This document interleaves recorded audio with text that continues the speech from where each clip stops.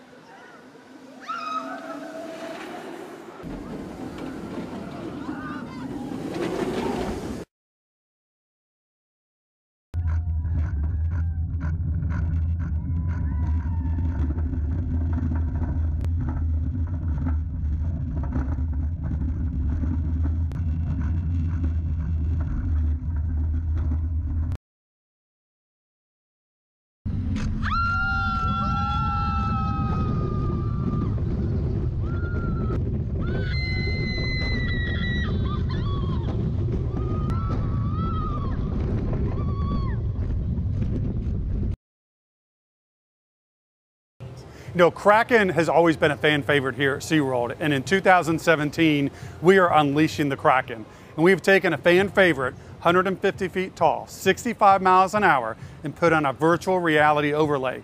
So our guests are going to join us in a deep sea underwater adventure alongside sea creatures that are inspired by both extinct and legendary animals of the past, including the mighty Kraken. I think our guests are going to love Kraken because of the storyline that we've put into this new virtual reality experience. It combines not only Kraken, but our Journey to Atlantis attraction. In that virtual reality world, it is one of the kind. There is nothing like this in the country, and we're really excited for our guests to experience it. SeaWorld is known for creating fantastic, world-class attractions and animal exhibits and habitats.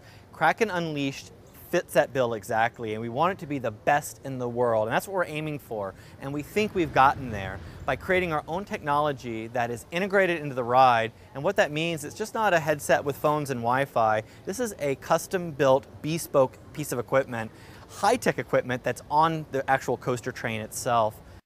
Kraken Unleashed further solidifies that thrill ride leader in the Orlando marketplace, but it still ties back to our origin of the oceans, amazing creatures, real and imaginary, that inspire our guests every day and make SeaWorld the optimum and premium vacation.